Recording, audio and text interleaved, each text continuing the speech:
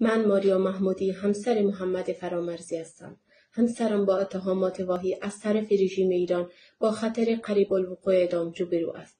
از شما درخواست می کنم که برای جلوگیری و لغو این حکم از ما حمایت کنید. چون این حکم نادلانه بدون دادرسی منصفانه بدون حضور وکیل با ناپتی سازی قهری در بیخبری مطلق و با اعمال شدیدترین شکنجههای جسمی و روحی بوده است حمایت شما برای لغو این جنایت مستقبار حمایت از آزادی کرامت انسان است. چون آزاد زندگی کردن حق هر انسانی است.